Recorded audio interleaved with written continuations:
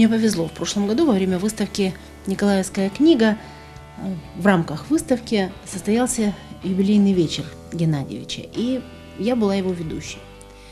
Удивительное чувство партнерской работы, просто удивительное. Интуитивно понимает, подхватывает мысль, чувствует, очень тонко чувствует паузу, очень э, тонко чувствует настроение, подхватывает атмосферу, работаешь с ним, и ты понимаешь, что ты не сам по себе, вот ты ведущий, вот герой вечера, а ты действительно работаешь вместе с человеком, и складывается какой-то такой очень э, интересный образ, очень гармоничный образ. Это просто здорово. Вот за всю мою телевизионную жизнь э, крайне редко удавалось попасть вот именно в такую атмосферу работу. Очень гармоничной, очень слаженной, когда человек тебя очень тонко чувствует. В целом личность э, сложная и неординарная. Несмотря на такие замечательные волшебные светлые стихи, там, как иду я по побережью и жую абрикосу свежую, у Аркадия бывали периоды, когда я, глядя на него, шел в магазин констоваров и покупал ему цветную бумагу в листах и цветные ручки, и дарил, чтобы хоть как-то сбить его с этой сложной такой темы тяжелой и получить от него еще парочку веселых стихов, которые я больше всего у него люблю. Магические истории с этим человеком случаются постоянно.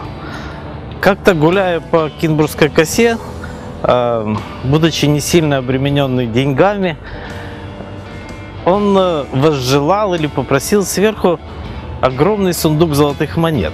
Так как э, на косе часто море выносит какие-то удивительные вещи, он решил, что ну, самое время э, получить сундук золотых монет.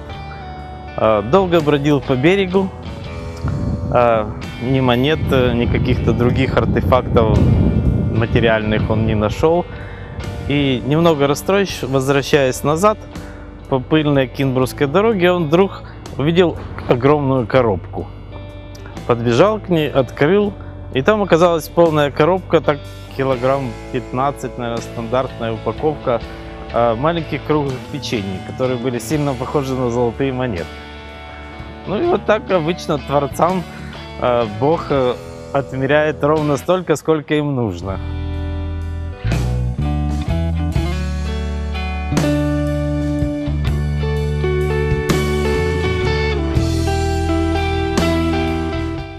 Вітаю вас у новому випуску програми Просто люди. Тепер і поруч з нами просто люди міста Миколаєва, такі, як майстер спостерігання за навколишнім світом, чаклун, що лікує душі словом та конструктор свого життя.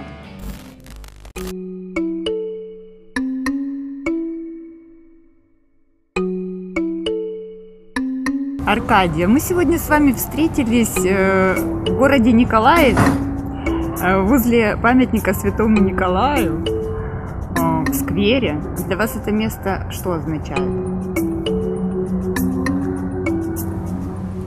Я отсюда управляю действительностью. Ну, как бы отсюда вообще из центра.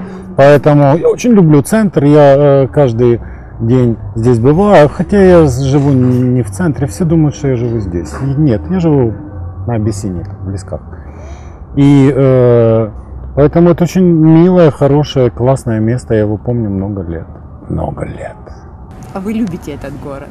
Ну да, там А он город. отвечает вам взаимностью? Ну, а вы уезжали из этого города? Я уезжал, да. Вообще я, я служил в Беларуси и э, мне как-то ночью э, стали сниться николаевские какие-то перекрестки. Причем не, не мои какие-то другие перекрестки. Я там редко бывал, не, не, не любимые. И я, э, когда вернулся, я понял, что это мой город, я его люблю, я его не брошу, я, это, это мое. А вот это вы говорите душа. слово любовь. Ну, у вас любовь, э, что для вас? Что для вас любовь? Любовь, я написал целую, знаете, целый цикл, который называется «Любовь».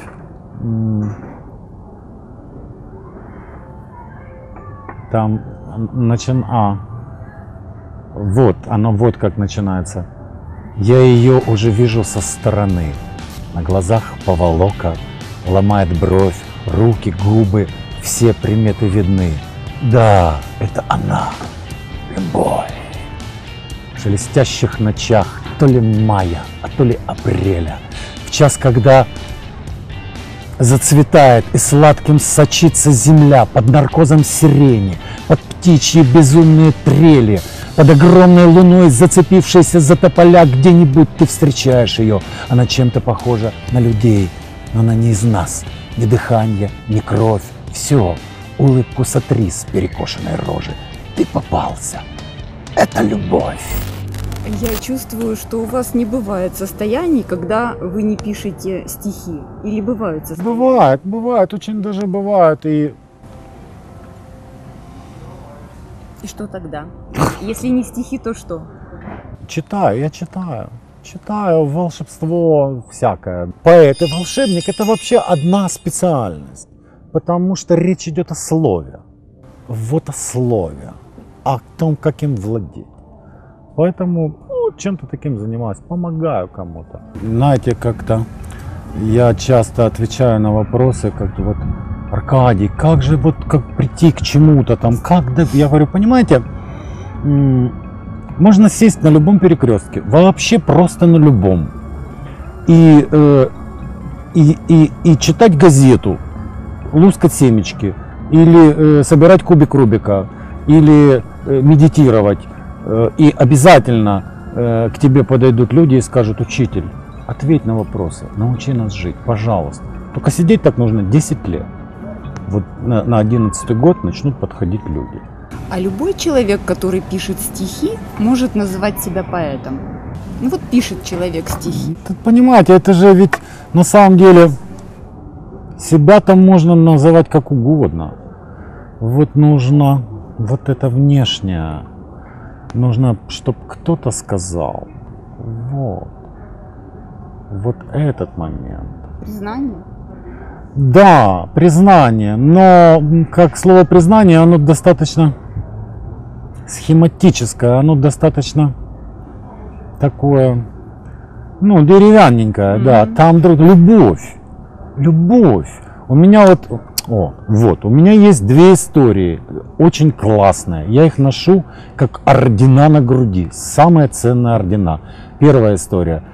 Знакомый товарищ мне говорит, ты знаешь, я разводился с женой, и э, вот ругата, скандал многодневный. И я сидел у окна и думал, сейчас прыгну, сейчас прыгну. Ну, все, сейчас прыгну. Ну, больше не могу. Не могу больше.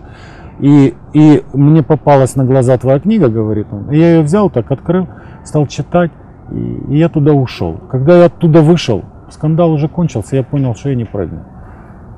Вот. Это- понимаете, да, то есть достаточно. И, втор, и есть вторая история тоже. Э, подруга, давняя подруга, много лет жила на севере, и она возвращается в Николаев с такой достаточно трудной судьбой, возвращается. Прошло много лет, она совершенно уже не знает, город забылся, ее забыл. И она говорит, я выхожу на вокзале из поезда, и вдруг я вижу на столбе э, стихотворение написано. Я подхожу, а это ты. И там написано, что не бойся, все будет хорошо, не бойся. Скоро, скоро. И она говорит, я так просияла, думаю, да нет, вот Аркадий меня встречает. Не-не-не, все будет хорошо. И у нее все хорошо. Такая история. Скажите, у вас есть э, стихи о детях, для детей, о детских персонажах, а есть отдельная книжка, вот изданная детская книжка. Есть? У меня есть большой такой цикл из восьми стихотворений, больших стихотворений, фактически это на книжку, на такую детскую книжку. Называется про мальчику Женю. Мальчик Женя спит в кроватке, спит и носиком сопит. Снится Жене пряник сладкий, деревянные лошадки, кран подъемный, лук на грядке. Женя спит. Звездами швыряет лето, вон одна в пыли лежит. Жене неизвестно это. Женя едет без билета, пробирается к рассвету. Женя спит. Вот, вот таких 8 стихотворений. Вот, это первое. Второе, у меня есть э, азбука. э, на каждую букву написано короткое стихотворение. Например, буква В велосипед, кто-то едет, кто-то нет. Булку бублики батон в булочной купил Антон. Э, то есть вот у меня таких написано на, на каждую букву алфавита стихи. Э, Это, кстати, очень легко, короткие и, и вот детские. А вы переиздаете свои старые? Нет, э, ну почти нет. Хотя мне уже говорят, ты знаешь, уже пора делать там что-нибудь, там двухтомник какой-нибудь, все издать.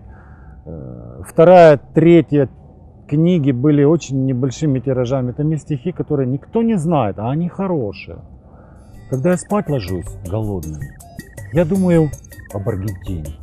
Там тучные стада коровьи жуют траву в предгорьях Анд. Там много молока и мяса. И запах солнца и полыни на их рогах завязан туго, как на испанке красный бант. Когда я спать ложусь голодным, я думаю о Сенегале. Так, там негры с воплем халигали пасут в саванне местный скот. Там много молока и мяса. И приезжают на сафари богатые американцы, наняв в Алжире самолет. Когда я спать ложусь голодным, я думаю, ну сколько ж можно так издеваться над поэтом, который гол и невесом. Вот только подкрадешься к мясу, протянешь руку осторожно, и тут же понимаешь ясно, что это сон, что это сон. Ну, Вот это, это из тех книг стихотворения, оно же хорошее, веселое. Поет это сложно и просто. Пока ты не научился, то тебе э, сложно, а, а потом просто. Ну, вообще, конечно, это другая жизнь. Это другой способ жизни. Он- Это, это не совсем человек. Посмотрите на меня внимательно. Какой же я человек? Не человек. Хорошее сегодня знакомство произошло. Сегодня, конечно, сегодня хорошее, приятное. Очень, э, ну, я, мне приятно, что неприятно давать ответы на вопросы, да. Я же, я же танцую. Смотрите, как красив мой танец. Вы восхищаетесь, как я танцую. Ну, что еще надо для счастья? Сьогодні з нами вів неспішну бесіду керівник перехрест міста Миколаєва, повелитель стихій і простору та директор вулиці Радянської Аркадій Суров. Залишайтесь з нами, просто люди міста Миколаєва.